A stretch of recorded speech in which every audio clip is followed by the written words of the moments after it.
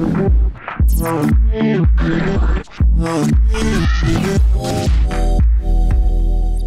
mani pie zemes, mana vieta ir debesis, akli lakstīga un ne ceļu rakstīja balss. Es to sacīju jau, dabus tu tāds tieši klaus. Īstajā vietā, īstajā laikā, viss būs pa īstam, viss būs viskaistāk. Tev jūlijā noslēgumā nāca klajā jauns albums. Mildas īstais vārds ir Zelma. Kā tu nonāci pie šī nosaukuma? Principā pats albums ir par brīvību. Man šķiet, ka Milda ir tāds kā brīvības simbols. Līdz ar to šis stāsts par uh, zelmu, pēc kuras tika veidots uh, Mildas siluets, man likās kā fakts, ko es vēlētos izcelt. Un, uh, man likās, ka arī viņš varētu kalpot kā forša albuma nosaukums, tādēļ arī es to izmantoju. Kāpēc tavs albums sākas ar ievadu no intervijas ar Frediju Merkūriju?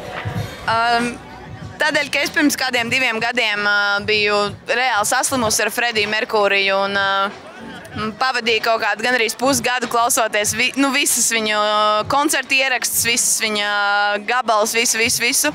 Un uh, rakstot albumu, tā vēl joprojām bija kaut kāda influence, iespējams. Uh, un, uh, man ļoti patika šis, šis tieši moments intervijā, kur, uh, kur viņš runā ar šo intervētāju un viņam prasa, vai Ir tā, ka te uzdod vienmēr viens un tos pašus jautājumus. Viņš teica, jā, protams.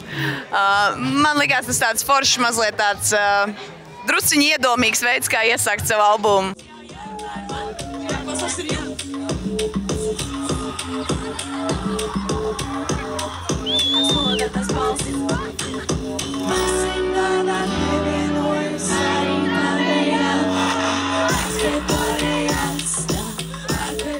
Spotify pašlaik tava klausītākā dziesma no jaunā albuma ir ar nosaukumu franču valodā.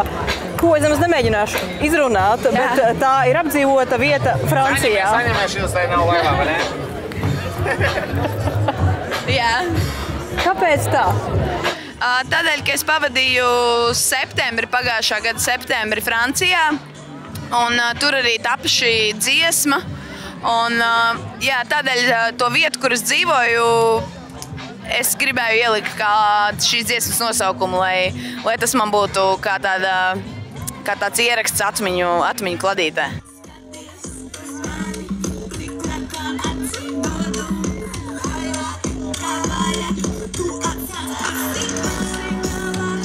Un kā radās tavs radio daudz dzirdētais, lipīgais, pirmais izdotais singls no jaunā albuma ar nosaukumu Tur?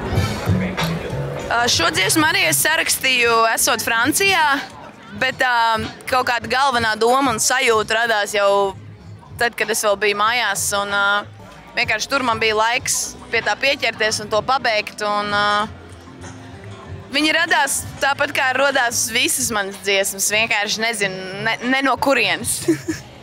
Pirms šīs dziesmas albumā ir īsts skaņdarbs ar nosaukumu Anda dēli.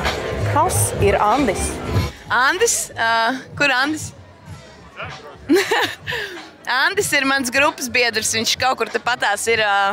Un, jā, viņš ir čalis, kurš palīdzēja man miksēt albumu. Viņš arī rakstīja pats mūziku divām no albuma dziesmām. Un, un viņam ir divi puikas, rītīgi forši, kurus, kurus arī vēlējos ielikt šajā mazā fragmentiņā. Likās ļoti labi. Daži albumi veido gadiem, bet tu cik noproti to izdarīt gada laikā? Jā, tā bija. Es nezinu, man, man, man kaut kā ātri iet, tad, kad es zinu, ko es gribu teikt. Un tad ir diezgan viegli to arī pateikt. Tāpēc uh, nekāda baigās salda nebija. Un, protams, jautājums arī apnicīgais, ko vienmēr uzdod. Ko varam gaidīt no tevis nākotnē? Droši vien daudz, daudz mūzikas, pavisam noteikti. Es domāju, ka es nepametīšu šo jomu. Vismaz neplānoju. Un, uh, gan jau arī kaut kādus uh, muļķīgus izgājienus. kaut ko tādu. Jā, no manis var gaidīt.